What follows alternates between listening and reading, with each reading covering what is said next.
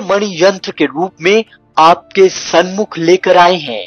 Professor Gurdeep Arora ji, पूजा विधि से अभिमंत्रित कर प्रोफेसर गुरदीप अरोड़ा जी ने सूर्य मणि यंत्र को तैयार किया है, जो इंसान फोबिया, यानी डर की बीमारी से पीड़ित है, उन्हें निडर बनाता है, जो रोज सूर्य मणि यंत्र के दर्शन करता है। यह सूर्य मणि यंत्र आपको कामयाबी की बुलंदियों तक पहुंचाता है। और अपने अपनों का जीवन बदलने के लिए अपने घर ले आए अभिमंत्रित सूर्य मणि यंत्र। नमस्कार। मैं प्रोफेसर गुरदीप रोड़ा। आज बहुत बड़ा मुद्दा लेके आया हूँ। एक ऐसा मुद्दा जिसमें 99 परसेंट लोग पीड़ित हैं, ऐसा मुद्दा लेके आया हूँ। इसके उपाय के बारे में बताऊँगा। हमारा चैनल है the secret of your life.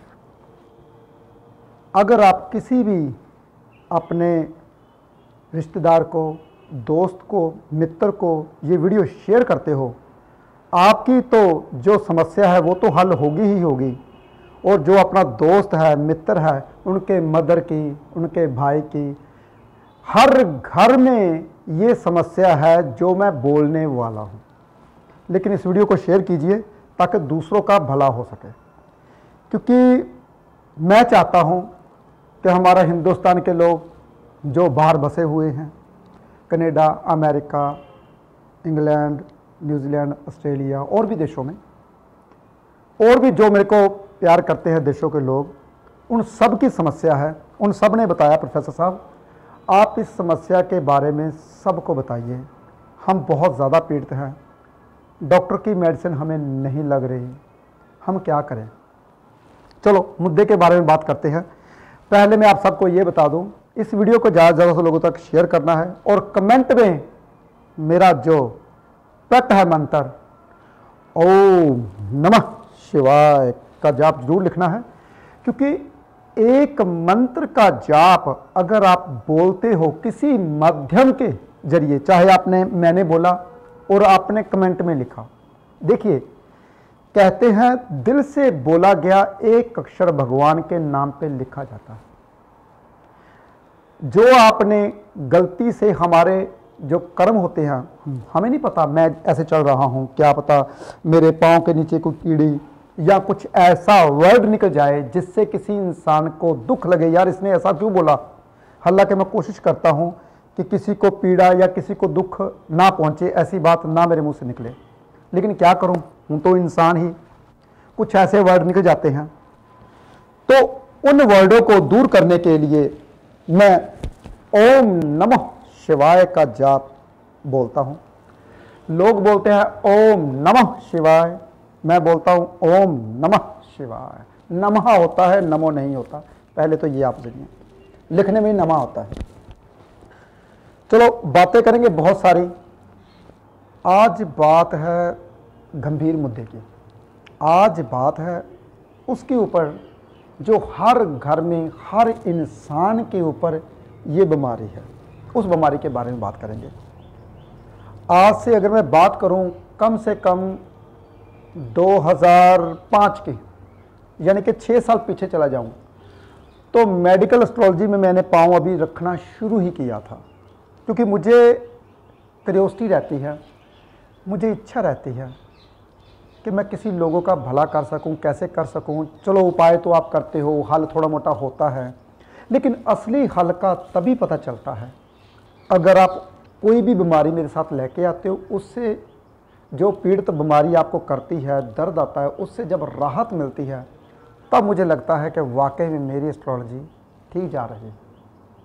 आजकल प्रॉब्लम पता क्या है? सबसे बड़ी प्रॉब्लम है आजकल। इंसान अपना काम खुद नहीं करता। इंसान पता क्या कहता है? मैं काम बल रख लेता हूँ, मैं कुछ कर लेता हूँ।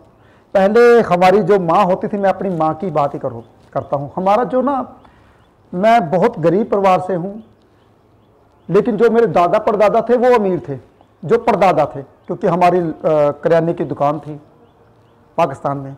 चलो, बंटवारा हुआ, हम इधर आए बहुत ज़्यादा मेहनत की, मेरे दादा ने, मेरे फादर ने बहुत मेहनत की, लेकिन वो मेरे परदादा जैसे नहीं हो सके। लेकिन अब भगवान कृपा से मैंने बहुत मेहनत की, दिन रात एक किया, तभी इस मकान पे पहुँचा। और मैं कोशिश करता हूँ पूरी दुनिया को उस मकान पे लेकर जाऊँ, जिस मकान पर मैं पहुँचा। मैं बहुत नीचे से ऊपर तक आया हूँ। पहले पता क्या हुआ करता था? पहले एक कच्चा आँगन हुआ करता था।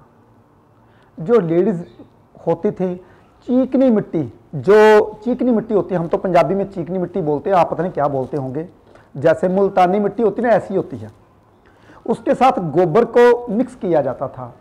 तो जो भैंस का चारा होता है, तूड़ी बोलते हैं पंजाबी में, हम उसको मिक्स करके आँगन में मेरी माँ लगाया करती थी। तब पोचे वगैरह नहीं लगते थे, क्योंकि कच्चे होते थे ज़्यादातर।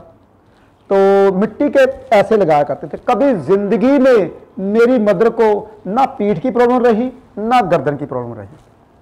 क्योंकि आजकल क्या होता है, हम लैपटॉप पे ऐसे ऐसे काम करते रहते हैं। अगर हमने पाँच घंटे लगातार ऐसे ऐसे ऐसे ऐसे किया तो हमारी जो नसें है ना, गर्दन, ये ये जो हमारी पीछे रीढ़ की हड्डी है, रीढ़ की हड्डी के साथ एक पाइप जाती है। पाइप जाती है, वो पाइप पता क्या करती है? वो पाइप रीढ़ की हड्डी के साथ साथ और तो जगह होती नहीं, रीढ़ की हड्डी, जैसे मान लीजिए ये रीढ़ की हड्डी है, इसके साथ साथ एक पाइप चलती है, मोटी पाइप होती है, जैसे तारों का गुच्छा होता है। वो पाइप कभी इधर एक नाड़ी इधर छोड़ देती है, एक नाड़ी इधर छोड़ देती है, एक नाड़ी इधर छोड़ती है, एक नाड़ी इधर छोड़ती है, वो धीरे धीरे धीरे धीरे हमारे नीचे तक वो पाइप जाती है, जहाँ तक रीढ़ की हड्डी जाती है। वो फिर नाड़ियाँ दोनों तरफ़ छोड़ देती हैं, आधी नाड़ियाँ इस टांग को आ जाती है, आधी नाड़ियाँ इस टांग को आ जाती है। वो नाड़ियों का गुच्छा जो होता है, धीरे धीरे धीरे धीरे पतला होता जाता है। तो ज़्यादातर लोग पता क्या करते हैं? जो दिन रात कंप्यूटर के ऊपर काम करते हैं, जो दिन रात एक तक मोबाइल को नहीं छोड़ते, जो दिन रात टीवी देखते हैं, नाटक आजकल लेडीज़ को कहते हैं, नाटक देखने का बहुत तस्का है। ऐसे ही आजकल रूटीन में चलता है, जो नाटक में चलता है। तो दिन रात ऐसे टीवी के आगे बैठना और टीवी देखना, चाय वहीं पे पीनी, वहीं पे खाना खाना और एक टक दगाया और गर्दन को घुमाया नहीं, हाथों को घुमाया नहीं वो नसें जो होती ना ये वाली नसें, ये नसें धीरे धीरे धीरे धीरे जाम होनी शुरू हो जाती है, क्योंकि नशा का गुच्छा यहाँ पे है, शुरुआत यहाँ पे होती है। तो जब वो नसें जाम होती हैं तो पता क्या होता है? मैं आपको बताता हूँ। जब वो नसें जाम होती हैं तो हमारी गर्दन नहीं हिलती। हम इधर गर्दन करते हैं, इधर गर्दन, क्योंकि आपने नसों को जाम कर लिया। वो जब नसों को जाम कर लिया तो आपने एक्टिविटी की ही नहीं, चले ही नहीं। अगर चले ही नहीं आप तो वो नसें कैसे ठीक होंगी? उसकी जो तरल पदार्थ, क्योंकि जो हमारी पाइप है, पाइप क्या मांगती है? मैं आपको बताता हूँ, पाइप के बीच में हवा, खून का दौरा ब्लड प्रेशर पानी, उस पाइप में पदार्थ चलता है। क्या पदार्थ चलता है? पानी का पदार्थ, लहू का पदार्थ, पानी रेशी जैसा होता है, उस पाइप में होता है। जो जिस, क्योंकि अगर पानी ना हो, पाइपें आपस में जुड़ जाएँगी, जैसे जैसे कहते हैं, तार तार तार के बीच में क्या होता है? एक प्लास्टिक चढ़ा होता है। प्लास्टिक चढ़ा होता है, उस प्लास्टिक और दूसरे बार नेगेटिव और पॉजिटिव को अगर जुड़ जाए, पटाखा बज जाता है। इसी तरीके उस प्लास्टिक प्लास्टिक क्या है? पानी की पैप। वो पानी की पैप होती है, उसमें थोड़ा थोड़ा तरल पदार्थ होता है। फिर क्या होता है? अगर वो पाइप हमारी हड्डी के साथ जुड़नी शुरू होती है वो रीढ़ की हड्डी के साथ, वो बाद की बात करूँगा, पहले मैं ऊपर की बात कर रहा हूँ। जब वो पाइप के भीतर आपने एक्टिविटी की नहीं, उस पानी को हिलाया नहीं, वो धीरे धीरे जाम होना शुरू होता है। तो क्या होता है, जिसे हम सर्वाइकल की प्रॉब्लम बोल देते हैं। पहले हमारी माता क्या करती थी, आँगन में पोचा लगाती थी, फिर धीरे धीरे हमने क्या किया, मेरे, मुझे याद अभी तक, जब हमारे पास थोड़े से पैसे आए एक टायल आती थी, पतली ईट, उसे टायल बोलते हैं। टायल उसका फर्श लगवाते लाल लाल रंग का फर्श होता था, उसके पोचे लगाए जाते थे।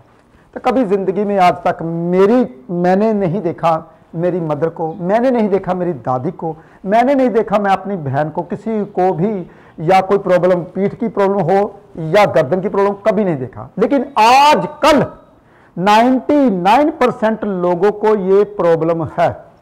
मुझे पता है 99 परसेंट लोगों को। पता क्यों प्रॉब्लम है? क्योंकि वो ज़िंदगी में अपना काम करना भूल ही गए। अगर आप, हम पता क्या करते हैं? एक्सरसाइज करनी शुरू कर देते हैं। घर का काम छोटा मोटा नहीं करते हम। अगर घर का छोटा मोटा झाड़ पूंजी करनी शुरू कर दी। मैंने एक पिक्चर देखी थी इंग्लिश पिक्चर थी कराटे कराटे किड ऐसी कुछ थी, मेरी याद है। वो कराटे सीखने जाता है तो वो पता क्या करता है? पहले मेरी गाड़ी साफ़ कर। यहाँ पे पोचा लगा। यहाँ पे ऐसे साफ़ कर। वो कहते हैं, आपने मुझे, वो गुस्से से ना एक साल करता तो उसके बाद कहता तुमने क्या खाया कहता मैं तो एक और भी बताता हूँ, क्या खाया था आप, मैं तो वार करता हूँ। मैं बोलूँगा, मैं तेरे को वार कर रहा हूँ तो वो वो बोलता है, अब कहा साफ़ कर? वार करता है, वो ऐसे हटा देता है पीछे। देखिए, वो कहता है, मेरे को वाकई में कराते आ गए। इसी तरीके से जो हमारी एक्सरसाइज होती है ना, ये किसी नाड़ी को ब्लॉक नहीं होने देती। हम पोचा नहीं लगा सकते थोड़ा मोटा झाड़ पूंजी कर लीजिए यहाँ पे, जैसे कि यहाँ पे टीवी साफ़ किया, कुछ। मैं मैं अपना काम खुद करता हूँ। ये दिल की बात है। मैं अपना काम खुद करता हूँ। मैं घर पे, जैसे कि मान लीजिए अगर मैं सैर करके आया तो गाड़ी साफ़ करने वाला लगा होता, मैं अंदर से गाड़ी साफ़ करनी शुरू कर देता हूँ। क्यों? क्योंकि मैं चाह, मैं नहीं चाहता कि मेरी गर्दन भी यहाँ से जकड़ी जाए, ऊपर से आप कॉलर लगाते हो, ऐसे ऐसे करके बात करते हो। हाँ जी, क्या हुआ था?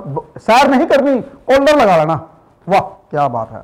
मैं अभी मेरे पास कल एक लेडी है कॉलर लगा के, मैं पहले कॉलर उतारो। कहते मेरी गर्दन हिल जाएगी डॉक्टर मैं कहा, ठीक कर दूँगा मैं तेरे को। मेरी गारंटी है। सौ परसेंट ठीक हो जाओगे। क्या है? आपने इस नक्शे को खोलना है। ऐसे इसको हिलाइए। जितना आप अपनी गर्दन को नहीं हिलाना, गर्दन को आपकी जड़ गई, आपको कॉलर लग गया गर्दन आई, आपने बाजू से काम करना। हाँ इधर से, ऐसे ऐसे करते हो आप। फिर पंद्रह दिन के बाद वो धीरे धीरे नसें खुल जाती जब हाथ हाथ हिलाते हो, गर्दन को नहीं हिलाते। तो आप ऐसा करते ही क्यों हो? पहले से हाथ हिलाना, आप एक्टिविटी करना, तेज चलना शुरू कर दीजिए। मेरी गारंटी है, कभी भी शेफाली आज आई नहीं। शेफाली कहती, मेरी ना गर्दन अकड़ गई। क्योंकि वो भी बहुत काम करती है। वो क्या करती है कि सुबह से लेकर शाम तक उसका काम है उपाय लिखना। वो उपाय लिखते रहती है ऐसे ऐसे। उसकी स्पीड बहुत ज़्यादा तेज है। उसकी गर्दन एक दफ़ा अकड़ा आ गया, कहती मेरे दर्दन होनी शुरू हो गई। अगले दिन फिर उपाय लिखना और उसके अगले दिन फिर उपाय लिखना। तो अगर हम एक टक होकर निगाह लगाएँगे, अपनी आई साइड एक तरफ़ लगाएँगे तो हमारी ये नसें जो होती है एल फोर के पास ना एक नस होती है, वो अकड़ जाती है। वो धीरे धीरे दर्द होती जो हमारी फ़ोन आ गया, मैं भूल गया था उसको साइलेंट मोड पे लगाना। अब लगाता हूँ, क्योंकि हमारा जो एपिसोड है, बीच में रह जाएगा, क्योंकि मेरी बातें, मुझे खुद नहीं पता चलता था मैं कहाँ पे था और कहाँ चला गया। तो शेफाली की बात कर रहा था मैं, वो ऐसे ऐसे उपाय लिखती, अगर हम दिन में पाँच घंटे, चार घंटे किसी और एक तरफ़ देखते रहेंगे या कंप्यूटर की ओर देखते रहेंगे तो हमारी जो है नस, वो धीरे धीरे जाम होनी, वही होगा, तरल पदार्थ कम होना शुरू हो जाएगा। तो उसके लिए हमने क्या करना सुबह सुबह दौड़ना। तो हमारा काम बहुत ज़्यादा होता है, हम बहुत बिज़ी होते हैं। आज सुबह सुबह कोई स्टाफ नहीं आया था। मेरा कैमरामैन खड़ा था, अमन खड़ा था। मैंने कहा, चलो पहले एपिसोड करते हैं क्योंकि मेरे दिमाग में बात आई। कल एक लेडी बहुत ज़्यादा रो रही थी, कह रही थी, मेरी गर्दन नहीं हिल रही। उसने पट्टा बांधा हुआ था। चलो।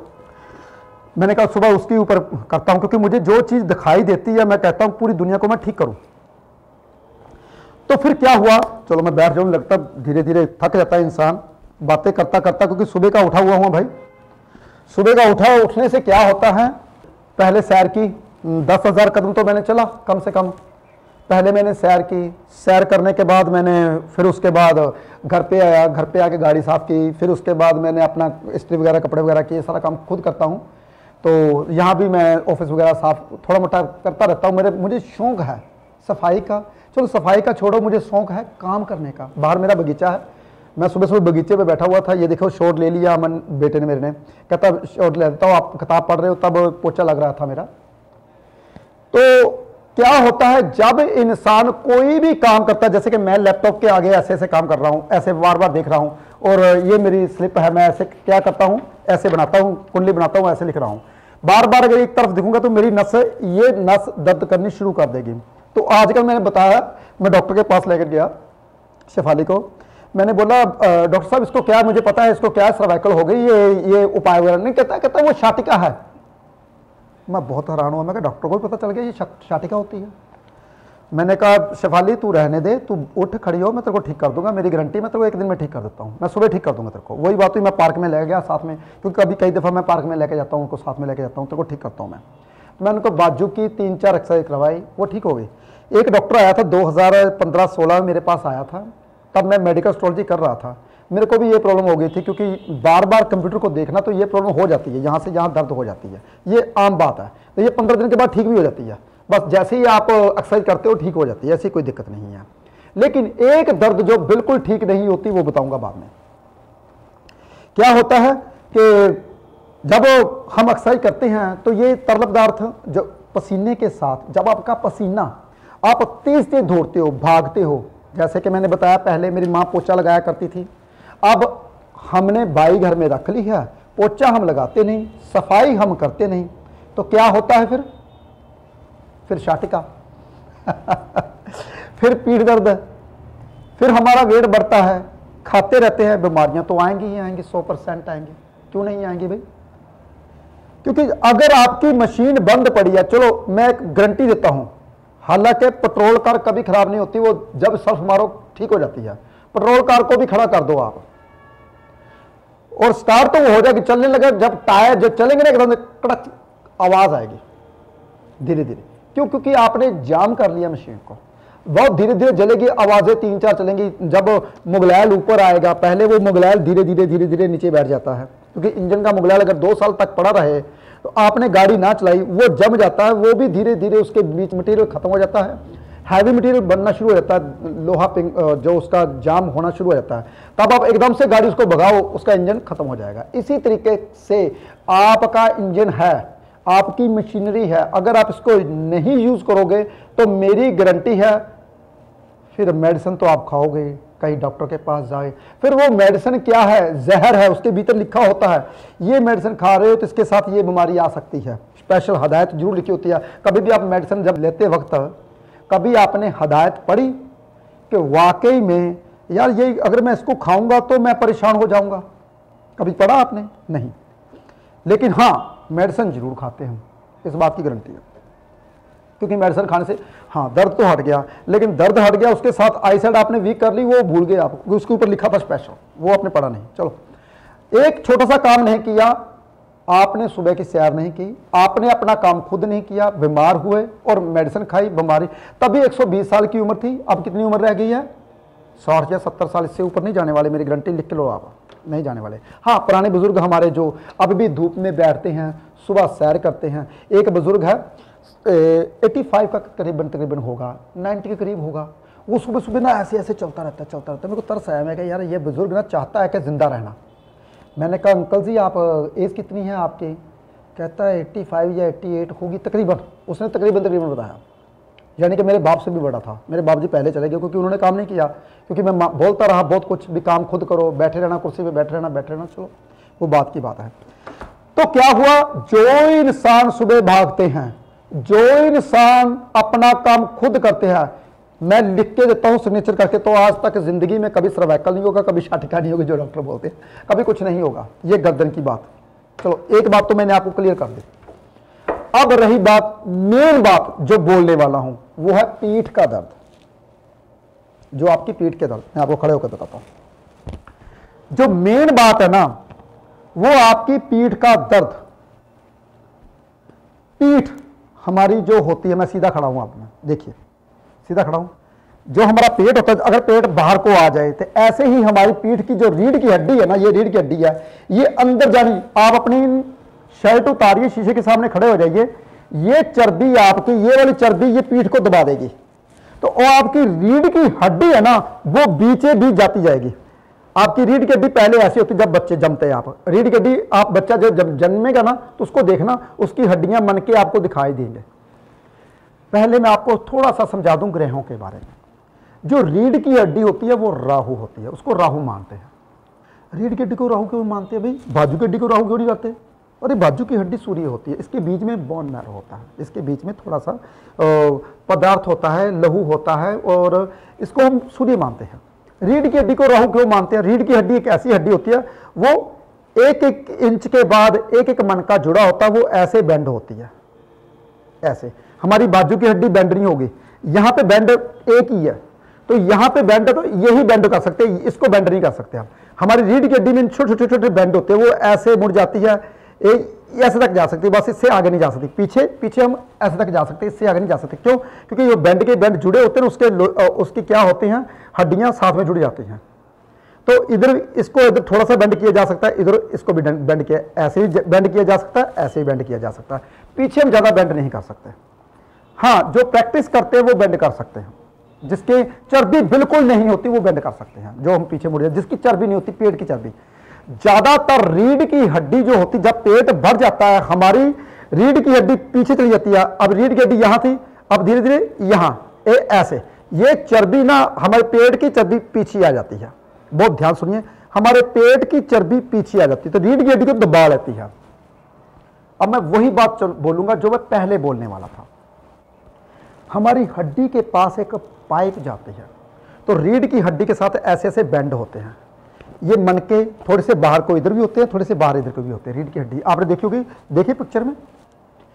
उसके साथ एक पाइप जाती है, वो मन के पाइप को टच करते हैं। जब वो मन के पाइप को टच करते हैं तो सबसे जो इधर, जो रीढ़ की हड्डी पाइप की तरफ़, वो जो लाइन जा रही होती है, वो वो लाइन किस करंट की होती है? हमारी टांग की। तो हमारी टांग में दर्द आना शुरू हो जाता है धीरे धीरे धीरे धीरे किया क्या? चर्बी आपने बढ़ा ली काम आपने नहीं किया।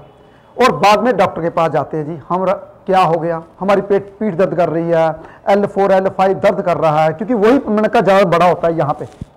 उसी बड़ा होता है तो वही मन का जब पाइप के साथ टच करता है तो फिर पाइप तो टच करेगी करेगी क्योंकि चर्बी आपने इतनी बढ़ा ली तो वो पाइप कहाँ जाएगी? रीढ़ की हड्डी के साथ दबाएगी क्योंकि देखिए मान लीजिए ये रीढ़ की हड्डी है ये पाइप है इतना गैप है बीच में जब आपकी चर्बी बढ़ जाएगी, वो पाइप को ऐसे दबा देगी तो ऐसे रीढ़ की साथ टच करेगी।